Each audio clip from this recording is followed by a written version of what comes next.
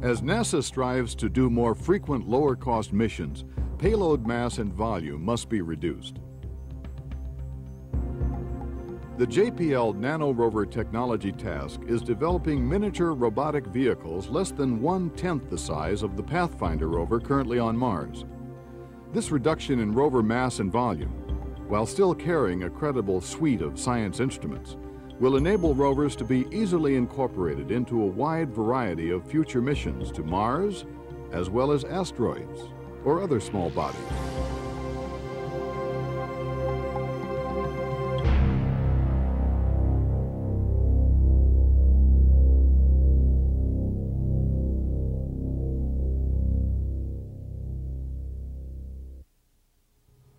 The current Nano rover is built around two scientific instruments which establish the chassis size.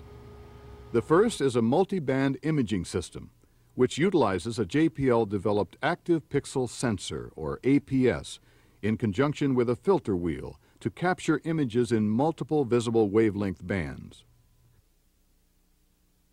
A mechanism allows this camera to focus from infinity to just two centimeters in front of the rover enabling close-up imaging of rock and soil features. The second instrument is an adaptation of a commercial near-infrared spectrometer using a mechanically scanned holographic grating. These two instruments provide the needed information for planetary scientists to explore the geology and composition of surface material. The nanorover electronics have been designed as a flight-like system utilizing radiation-hard components which can survive temperature swings from minus 125 to plus 125 degrees centigrade. This design eliminates the need for a special thermal enclosure and reduces rover mass, volume, and complexity.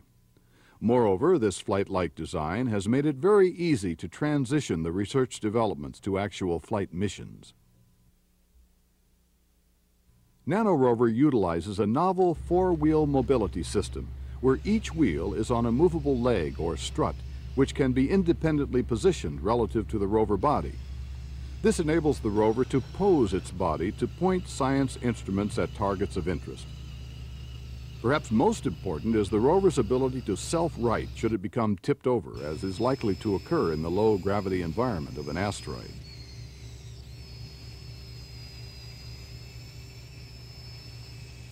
Control of the nano rover is done by creating a sequence of commands which are then transmitted to the rover. In this case, the rover is being commanded to move to a target rock and position its body to gather close-up imagery and spectral data. Once the data is acquired, it is transmitted back to the operator for display and analysis. A color picture of the rock can be generated from the multiband images. The near-infrared spectral data provides important information on the composition and mineralogy of the sample. NanoRover has been selected as the NASA payload for the Japanese MUSES-C asteroid sample return mission to launch in 2002. The low gravity of an asteroid, only one one-hundred thousandth of the Earth's, presents a challenging mobility environment. The rover will be deployed from the MUSES-C spacecraft several meters above the asteroid surface, while the spacecraft is descending for its first of several touch-and-go sampling operations. The rover will free fall to the surface and is likely to bounce several times before coming to rest. The impact forces are so low that no special protection system is required to protect the rover from damage. Once the rover comes to rest, it will self-right and began its exploration of the asteroid's surface. Due to the low gravity, the rover will have to move very slowly, less than a millimeter per second, if it is going to remain in contact with the ground and dead reckon to targets of interest.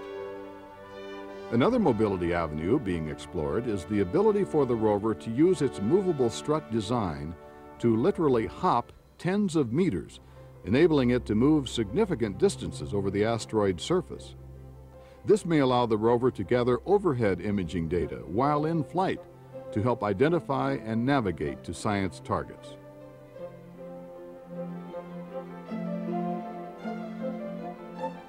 Future nanorover technology development will include further reduction in rover mass and volume.